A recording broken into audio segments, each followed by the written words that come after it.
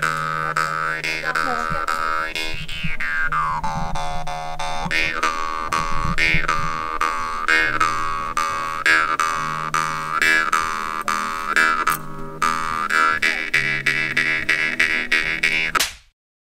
Buongiorno ragazzi, primo giorno in Kazakistan e vi parlo qui con dietro di me questi tipi. Abbiamo appena fatto una sessione con lo sciamano e stamattina, iniziamo da prima, stamattina sono arrivata eh, nel centro del Kazakistan che è uno stato enorme, dopo ve ne parlerò meglio. Abbiamo guidato due ore verso il nord e ora praticamente siamo a metà fra steppa e foresta. Prima fermata di oggi è stato lo sciamano e questo tipi ci ha benedetto, mi ha benedetto con questo bracciale e niente, ci ha raccontato un po' della storia insomma degli sciamani nella cultura kazaka. Ora ci andiamo a vedere il lago e poi più tardi continuiamo per la steppa.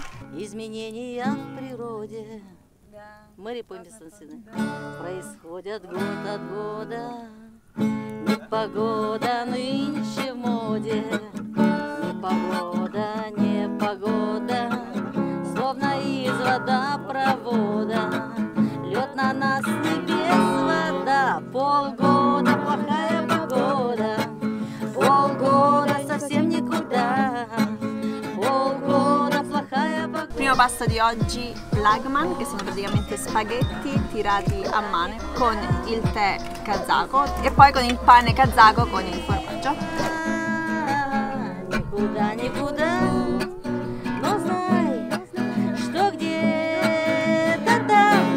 Там кто-то ищет тебя среди дождя. Громогрозные раскаты от заката до восхода за грехи людские плата. Непогода, непогода. angina né простуда. Allora ragazzi siamo arrivati alla dimora estiva di uno dei Khan che era uno dei, dei capi di quest'area. E questa è la montagna più alta dell'area che è 900 metri e noi faremo una parte dentro la foresta, lì c'è una foresta fittissima, bellissima. E ci ha detto che dentro questa foresta addentrandoci c'è un posto dove venire a meditare, è una persona molto saggia e si sente proprio la sua energia, quindi ora andremo, andremo dentro, si dovrebbe anche sentire proprio il microclima diverso, andiamo a vedere se sentiamo questa energia e poi ci andiamo al lago. Никуда, никуда.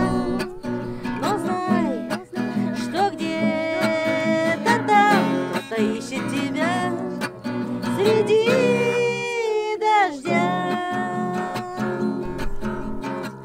Громогрозные раскаты. Siamo saliti sulla montagna da Paticaccia e poi stasera andiamo a dormire nello yurt.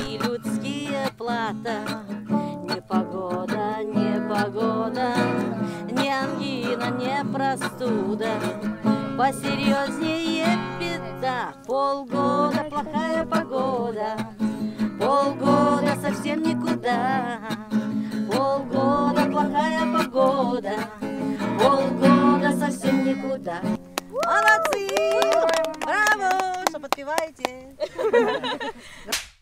Buongiorno ragazzi dalla steppa del Kazakistan, stanotte abbiamo dormito in uno yurt che è esattamente come questo qui dove stanno a fare colazione e stamattina ci aspetta andare a dare da mangiare ai cervi e poi una bella cavalcata a cavallo. Dopo essere andati a cavallo ci fanno tirare con l'arco e le frecce perché ehm, in Kazakistan, in questi popoli nomadi, oggi diciamo che stiamo scoprendo la, la popolazione nomade kazaka, nella popolazione nomade kazaka ogni uomo doveva saper fare almeno 5 cose. Le prime due sono andare a cavallo e tirare con l'arco e le frecce, le altre ancora non le so. Больше нету, чем бродить друзьям по белу свету. Тем, кто дружен, не страшны тревоги, нам любые дороги дороги. Нам любые дороги дороги. Ragazzi siamo su un cavallo kazako e c'è un cammello.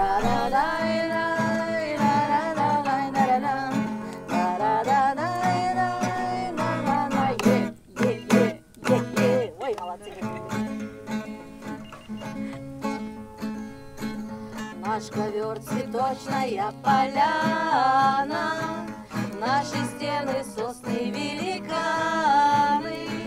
Наша крыша небо голова наше счастье жить одной судьбою. Наше счастье жить одной судьбой.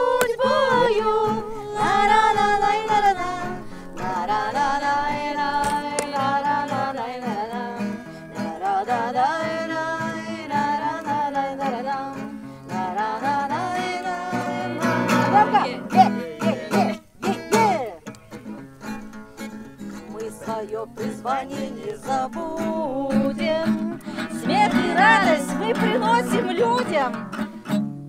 Нам ковров заманчивые своды Не заменят никогда свободы Не заменят никогда свободы Ра-ра-ра-най-ра-ра-ра.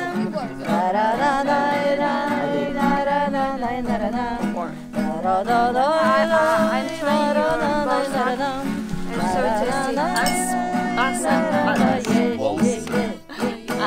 Asbosen, che vuol dire buon appetito, mi hanno fatto sedere nel posto più a nord rispetto alla porta, che è il posto per il, eh, l'ospite più onorevole.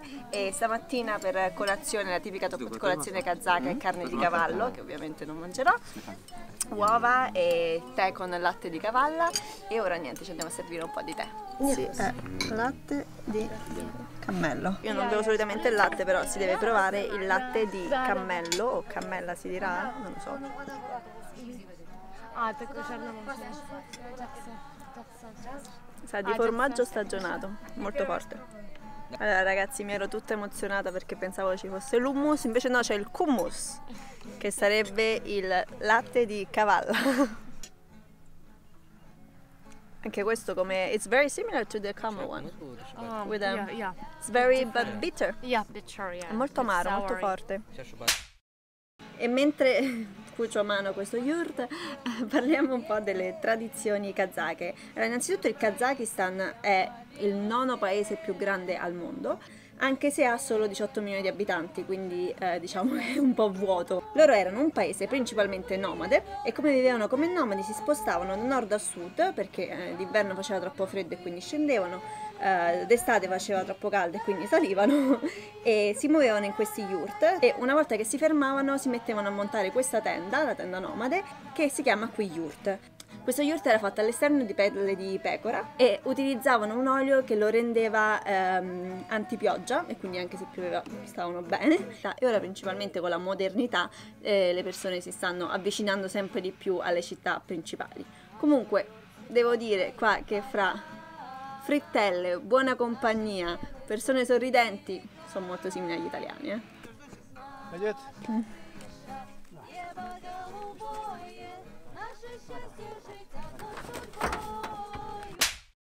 Oggi siamo ritornati qui ad Astana dopo due giorni diciamo nella campagna e iniziamo proprio dal eh, monumento simbolo di Astana. Mi hanno detto che quando hanno creato questo monumento praticamente qui non c'era eh, niente, c'era solo la steppa tutto intorno e negli ultimi 15 anni hanno creato tutti questi palazzi qui dietro.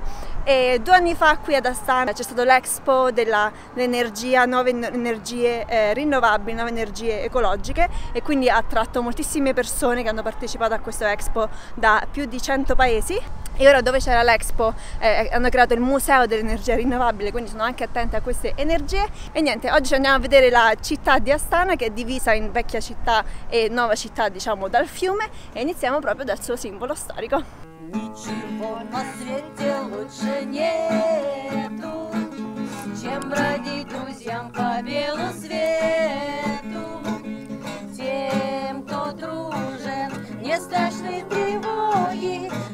away.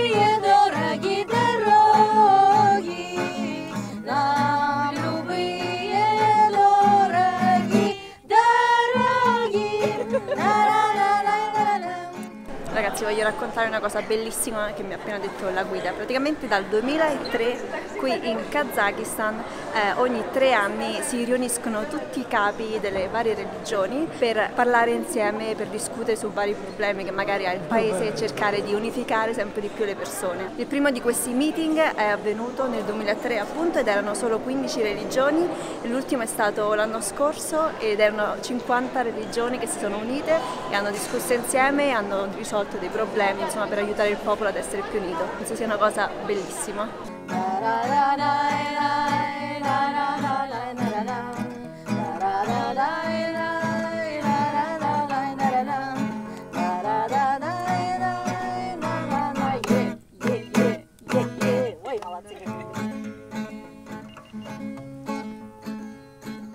Davanti all'opera qui di Astana voglio dire qualcos'altro sul Kazakistan. Fino al 91 il Kazakistan faceva parte dell'Unione eh, Sovietica, nel 97 eh, questa città Astana è diventata la capitale, prima era un'altra città più al sud, bellissima anche quella. Devo dire che mi ha stupito questo posto, mi ha stupito il Kazakistan perché non è mai stato un posto eh, che pensavo di visitare, perché non era, stata, non era mai stato nel mio bucket list dei posti da visitare, perché non lo conoscevo semplicemente. Sono tantissimi posti nel mondo che non conosciamo e che non consideriamo neanche perché non sono diciamo famosi, non sono in tutte le foto di Instagram, non sono in tutti i video su YouTube. E quindi vi suggerisco, perché mi sono piacevolmente stupita di questo posto, delle persone di questo posto che sono carinissime, apertissime, vi suggerisco di continuare a stupirvi e continuare ad andare in posti che magari non sono tanto conosciuti perché troverete sicuramente qualcosa di bellissimo anche lì. Io qui ho fatto solo tre giorni quindi non ho visto tantissimo ma ho visto delle foto di altre parti del Kazakistan, vabbè che è grandissimo il Kazakistan, che sono veramente spettacolari. E quindi spero che vi sia piaciuto questo vlog, spero che vi siano piaciuti questi tre giorni, fatemi sapere se sono stata una brava moglie kazaka. E, e niente, se vi è piaciuto questo video iscrivetevi qui sotto al mio canale, datemi un mi piace, venitemi a seguire su Instagram perché ogni giorno vi faccio faccio vedere posti come questo e niente ci vediamo al prossimo video